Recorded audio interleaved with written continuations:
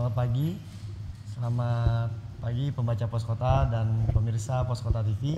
Sekarang saya sedang bersama dengan Ibu Lurah Sukabumi Utara, Kecamatan Kebonjeruk, Jakarta Barat, dengan Ibu Prinanda. Kita dalam sesi ini ingin berbincang-bincang santai pada Ibu Talkshow Pos Kota yang bekerja sama dengan Satgas COVID-19 terkait langkah penanganan COVID di wilayah DKI Jakarta, khususnya di wilayah uh, Sukabumi Utara eh, apa langkah-langkah dari ibu sebagai lurah tempat untuk menekan laju wabah COVID-19 Bu. Silakan Bu Lurah. Terima kasih untuk kesempatan yang diberikan. Uh, di sini di Kelurahan Sukabumi Utara tentunya uh, kita berupaya untuk bagaimana membantu pemerintah untuk menekan penyebaran COVID-19 dengan cara mensosialisasikan 3M tentunya yang katanya jargonnya ingat. Pesan ibu dengan cara apa? Kita membentuk gugus tugas.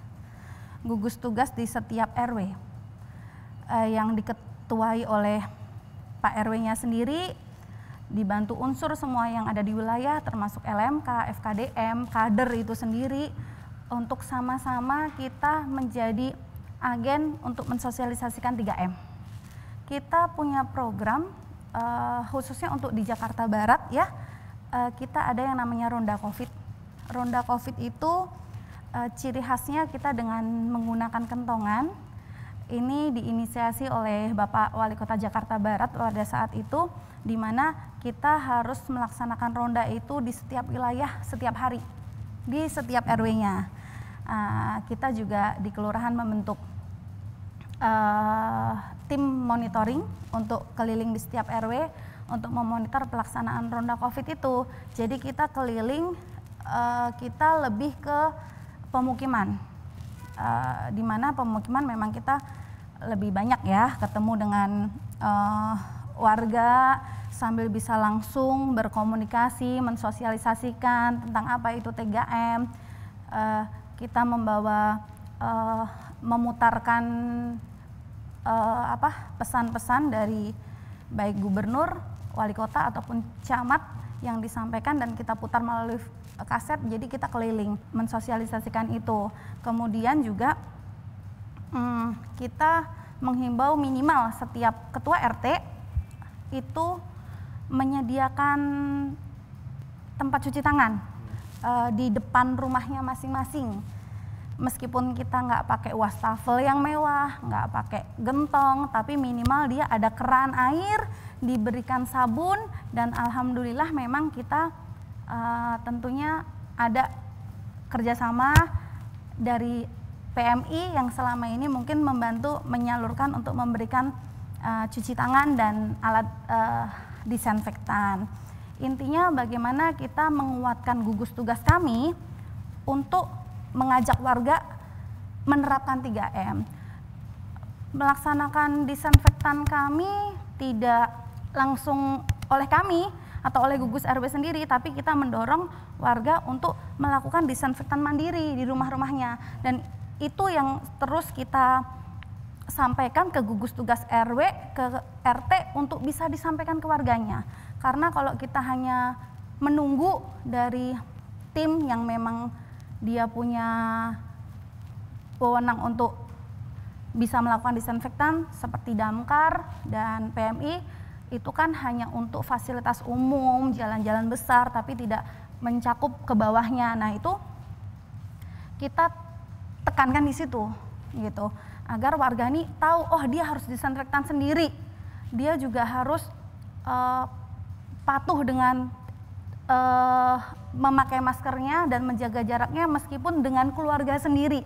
Apalagi kalau ada keluarga yang dia bekerja di luar karena memang banyak ya kasus yang seperti itu ya bekerja di luar dan dia tertular. Nah kita tuh selalu mengingatkan melalui gugus tugas RW agar uh, bisa menyampaikan kepada warganya kalau memang ada salah satu anggota keluarga yang merasa nggak enak di badan karena tentunya kalau kita kena virus yang orang bilang tanpa gejala, saya pikir itu tetap ada gejala kok. Cuman kita kadang mengabaikan. Nah itu kita uh, pastikan agar mereka menyampaikan agar bisa memakai masker meskipun di dalam rumah.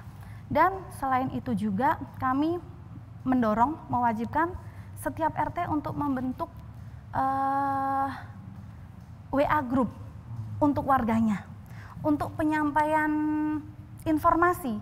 Karena apalagi kita di Jakarta ya, yang orang tuh jarang lah di luar, semuanya di dalam. Mungkin mereka sibuk bekerja atau memang cuek, jadi kita pakai WA group agar informasinya itu dapat sampai ke warga apa-apa itu tentang COVID itu sih kita menekankan ke WA group setiap RT harus dibentuk bersama warganya. Saya rasa itu.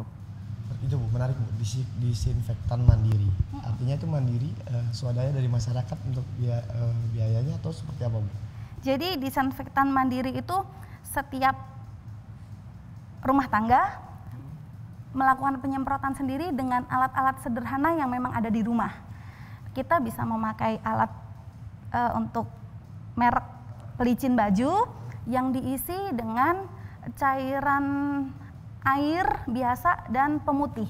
Itu sudah legal, resmi, pernah dikeluarkan oleh Dinas Kesehatan tentang campurannya apa. Ada banyak campurannya yang sangat mudah dan murah. Waktu itu ada pemutih, ada pembersih lantai dan itu. Jadi mereka untuk rumah mereka sendiri karena kan rumah mereka tentunya nggak bebas dari uh, nggak benar-benar steril, nggak pernah silaturahmi sama orang atau kedatangan saudara, apalagi yang namanya RT RW itu kedatangan warga yang mau membuat surat pengantar itu kami selalu mengingatkan bapak disemprot, jangan sampai enggak. Lurah tadi dengan berbagai langkah uh, apa uh, menyadarkan masyarakat tentang pentingnya 3M, sosialisasi digencarkan. Uh, sejauh ini bagaimana Bu tingkat kesadaran masyarakat? Nah, kalau untuk kesadarannya sendiri sebenarnya uh, sudah mulai baik. Kita lihatnya dari pemakaian masker. Jadi kalau dulu sering kita lihat orang bebas keluar dengan tanpa memakai masker. Nah sekarang itu uh, kita udah udah rata-rata orang di jalan tuh yang lalu lalang naik motor itu ke pasar rata-rata memakai masker. Itu juga karena memang ada dari Satpol PP pelaksanaan tertib masker yang itu juga dilakukan rutin kan. Kemudian juga kita lihat ketika kita berkeliling uh, mereka itu ketika tadinya di luar rumah tanpa masker mereka bisa tiba-tiba masuk ke rumah karena dia tahu oh harus pakai masker nih sebenarnya gitu. Terus ada juga yang ketika dia nggak mau pakai masker lagi di jalan ibu-ibu belanja gitu dia nutupin pakai jilbabnya. Artinya sebenarnya mereka sadar kesadarannya juga lebih karena mungkin satu mereka takut ditilang juga kena denda juga. Tapi uh, kadang yang membuat mereka pemahamannya kurang dalihnya begini.